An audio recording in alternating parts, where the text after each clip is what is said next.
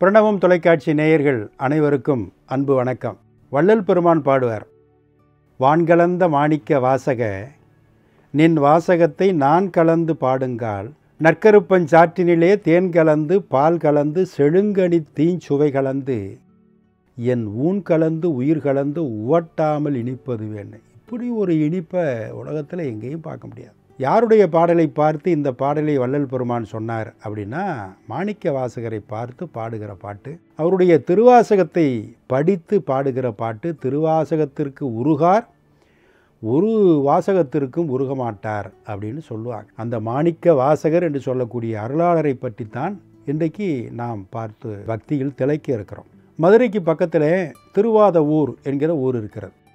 அங்கே பிறந்தவர் நம்முடைய மாணிக்க வாசக சுவாமிகள்.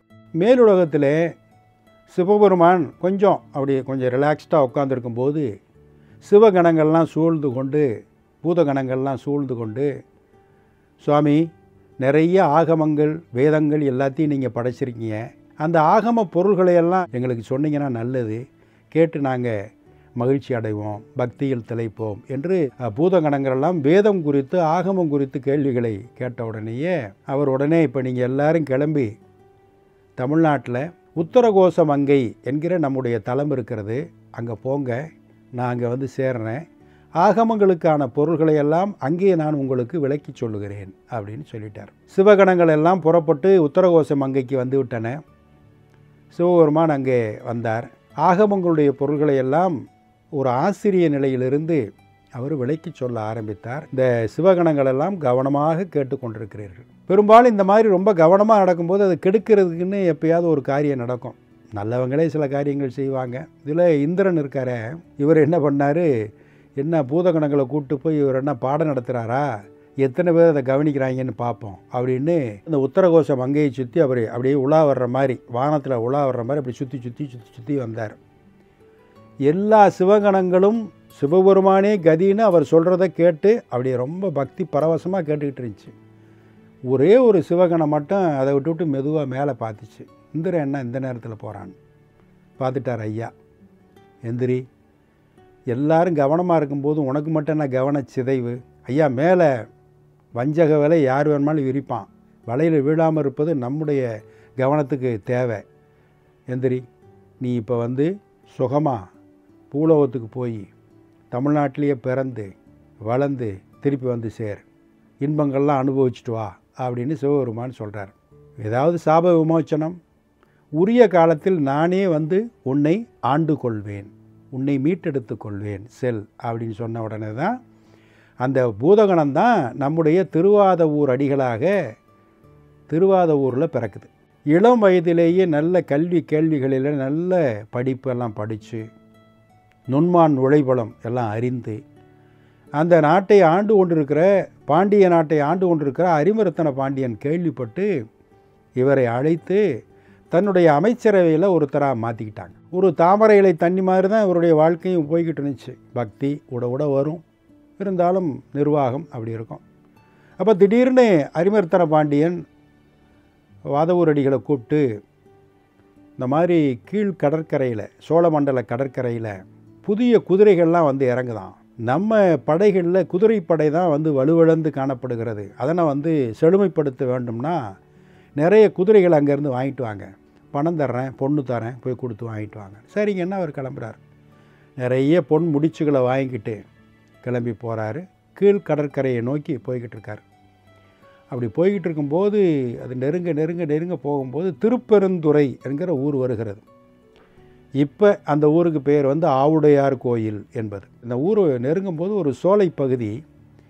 அங்கே அரகர அரகர அரகரன்னு ஒரு ஒரு ஒரு கடலோசை மாதிரி ஒரு அரகர முழக்கம் முழங்குவதை கேட்கிறார். அப்படி ஸ்தம்பிச்சு போய் அப்படி நிற்கிறார். மேலெல்லாம் புல்லரிக்கிறது. இதனால் திடீரென ஒரு அரகர முழக்கம் கேட்கிறது என்று திரும்பி பார்க்கிறார். சோலையிலே ஒரு குறுந்த மரத்தடியிலே சிவப்பழமாக சிவபெருமான் ஒரு குருவாக உட்கார்ந்திருக்கிறார். அவரை சுற்றி அடியவர்களாக மாணவர்களாக பலர் அமர்ந்திருக்கிறார்கள். இந்த அரகர முழக்கத்தை பார்த்து அந்த சோலைக்குள் குருந்த மரத்தடிக்குள் இருக்கிற குருநாதரை பார்த்து ஓடி போய் அவருடைய திருப்பாதத்தில் சரணம் என்று விழுகிறார். அவர் தன்னுடைய திருப்பாதம் தூக்கி அவருடைய தலையில் வைத்து ஆசீர்வாதம் செய்து கொஞ்ச நாள் இங்கே இரு என்று சொல்லுகிறார். அங்கே இருக்கக்கூடிய மாணிக்க வாசகர் கொண்டு வந்திருக்கிற பொன் மூட்டைகளை வைத்து அங்கே கோயில் கட்ட தொடங்குகிறார். திருப்பணி. அந்த திருப்பெருந்துறையில் இருக்கக்கூடிய ஆவுடையார் கோயிலை கட்டியவர் நம்முடைய மாணிக்க வாசக சுவாமிகள். அந்த பொன்மூட்டைகளை வைத்து அந்த திருப்பணி ஆரம்பித்து செய்து கொண்டிருக்கிறார். நாள்தோறும் வருகிற அடியார்களுக்கெல்லாம் அமுதம் வழங்கி கொண்டிருக்கிறார் உணவு பரிமாறி கொண்டிருக்கிறார். எங்கேயா போனவரை காணாமே என்ன பண்ணிக்கிட்டு இருக்காருன்னு சொல்லி ஒற்று விட்டு ஒற்றர்களை அனுப்பி இவர் தூது பார்க்கிறார் வேவு பார்க்கிறார் நம்முடைய பாண்டிய மன்னன் அரிமர்த்தன பாண்டியன். ஐயா அவர் அங்கே போனார். போகிற வழியிலே பாதியிலே நின்றுட்டார் அங்கே திருப்பெருந்துறையில் ஒரு பெரிய சாமியாரை பார்த்து அவர்கிட்டே சரணாகதியாக இருந்துக்கிட்டு கொண்டு போன பொன்மூட்டையெல்லாம் வைத்து கொண்டு அவர் ஏதோ கோயில் திருப்பணி பண்ணிக்கிட்டு இருக்காரு உணவு அது இதுன்னு எல்லாம் பரிமாறி கொண்டிருக்கிறாரு ஒழிய வேறு எதுவுமே செய்யலையா? குதிரை வாங்குற மாதிரியும் தெரியலையா? அப்படின்னு அவங்க சொன்னாங்க. உடனே இவர் ஒரு ஓலை கொடுத்து அனுப்புகிறார். கொண்டு போன பணமூட்டை என்ன ஆயிற்று? குதிரை வாங்கினீரா? எப்பொழுது திரும்பி வருவீர்? அப்படின்னு சொல்லி ஒரு ஓலை எழுதி அவருக்கு அனுப்புகிறார் இவர் நாள்தோறும் அந்த குருநாதர்கிட்ட உட்காந்து அவரிடம் பாடம் கேட்டுக்கொண்டு குரு சொல்லுகிற உபதேசங்களை எல்லாம் கேட்டுக்கொண்டு மகிழ்ச்சியாக திருப்பணிகளை செய்து கொண்டிருக்கும் போது ஓலை வந்து சேருகிறது. ஓலை வந்து சேர்ந்தோடனே அதுக்கெல்லாம் கவலைப்படலை. உடனே குருநாதர்கிட்ட காமிச்சு இந்த மாதிரி அரசன் சொல்லியிருக்கான் பாண்டி அரசன்.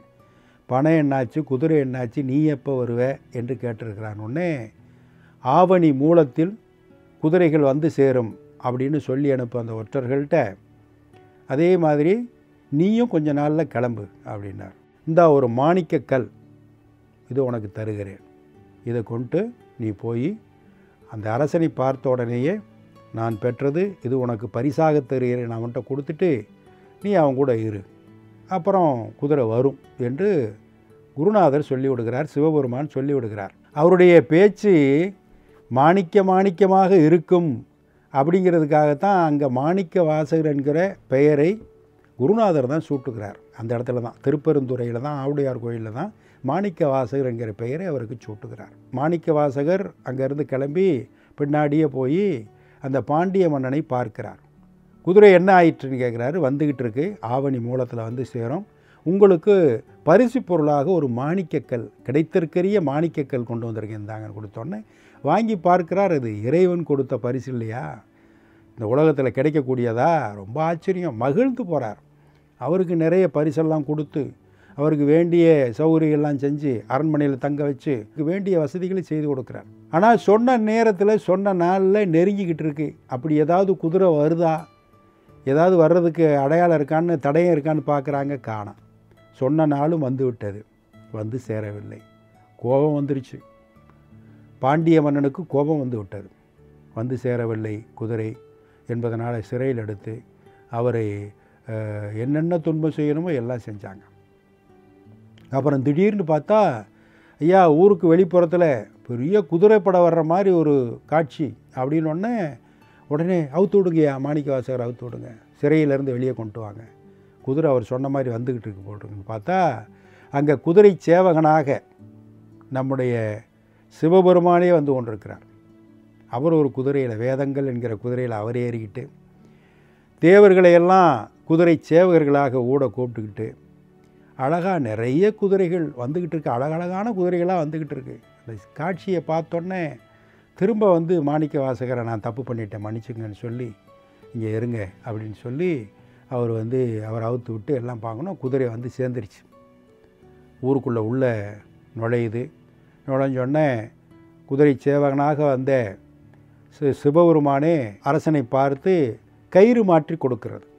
அதாவது ஒரு பொருளை வந்து ஒரு மாடோ ஆடோ வந்து விற்கிறோம்னா அந்த ஆட்டையும் மாட்டையும் கட்டியிருக்கிற கழுத்தில் தொங்குற அந்த கயிறு எடுத்து இன்னொருத்தட்ட கொடுக்கறது. கயிறு மாட்டி தருவது. பார்த்துக்குங்க கணக்கெடுத்துக்குங்க. இத்தனை குதிரை இருக்குது எல்லாம் கொண்டு வந்துட்டேன். இந்த குதிரையை பூரா இன்றைக்கி உங்கள்கிட்ட ஒப்படைக்கிறேன். அப்படின்னொடனே அவர் ரொம்ப மகிழ்ச்சியாக கயிறுகளை பெற்றுக்கொண்டு அத்தனை குதிரைகளையும் அந்த அரண்மனையில் இருக்கக்கூடிய குதிரை லாயத்தில் போய் கட்டுங்க. இன்றைக்கு நம்முடைய குதிரைப்படை செழுமையாகிவிட்டதுன்னு ரொம்ப மகிழ்ச்சியாக இருக்கிறார். நாளைக்கு விடிய காலம் என்ன நடக்கப் போகுது என்பது மன்னனுக்கு தெரியாது மாணிக்க வாசகருக்கும் தெரியாது. அரசனுக்கு தெரியாது மாணிக்க வாசகருக்கு தெரியாது என்றால் அந்த குதிரையை கொண்டு வந்து கயிறு மாற்றி கொடுத்துட்டு போனார் பாருங்க சிவபெருமான். அவருக்கு தெரியும் காலையில் என்ன நடக்க போகுதுங்கிறது. தொடர்ந்து பார்ப்போம். வணக்கம். அனைவருக்கும் அன்பான வணக்கம். நாம இந்த உலகத்துல ஞானிகளையும் மகான்களையும் சித்தர்களையும் அறிந்து கொள்ளணும் அப்படின்னா அதற்கு நமக்கு பயன்படக்கூடியதுன்னு பார்த்தீங்கன்னா நூல்கள் தான். அந்த நூல்களை வந்து நம்ம எந்த அளவுக்கு தேடி போய் படிக்கிறோம் அப்படிங்கிறது பலருக்கும் ஒரு இயலாத காரியமாக தான் இருக்கு இந்த காலத்துல. ஆனா அதை மாதந்தோறும் நம்முடைய கையில் கொண்டு வந்து சேர்த்து கொண்டிருந்த ஜீவ அமிர்தம் அப்படிங்கிற மாத இதழ் அவர்களுக்கு என்னுடைய மனமார்ந்த வாழ்த்தையும் நன்றியையும் தெரிவித்துக் கொள்கின்றேன். தொடர்ந்து இதற்கு ஆதரவளித்து நல்ல விஷயங்களை தெரிந்து கொள்வோம். நன்றி வணக்கம்.